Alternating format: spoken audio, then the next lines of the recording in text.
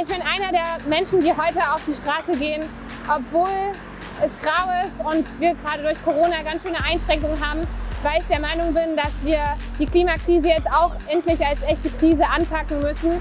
Ich bin Anne und ich bin heute hier, weil ich äh, möchte, dass sich endlich etwas ändert und dass die Klimakrise genauso ernst genommen wird wie die Corona-Krise, denn sie ist essentiell für unser Überleben.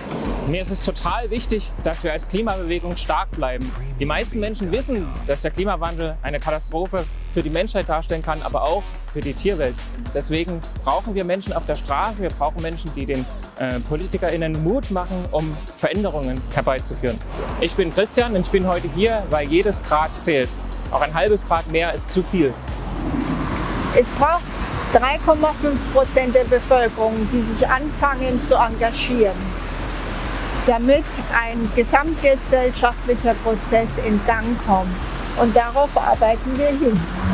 Ich bin Iris und heute hier, weil mir das Leben auf, dieser, auf diesem Planeten sehr am Herzen liegt. Dresden ist eine Stadt. Ähm, der Klimawandel wird sich vor allen Dingen auch in den Städten besonders bemerkbar machen. Überhitzte Innenstädte, Wassermangel, äh, Schäden an den Bäumen.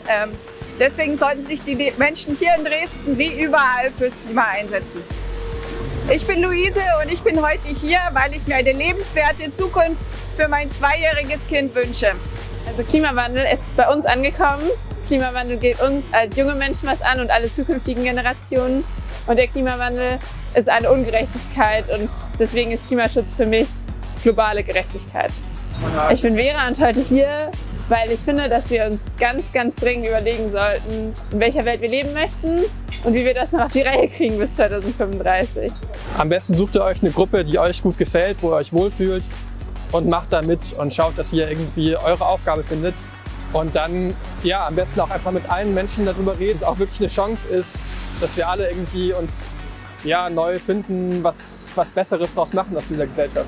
Ich bin Johannes, ich bin heute hier, weil die Klimakatastrophe nicht wartet, bis Corona vorbei ist.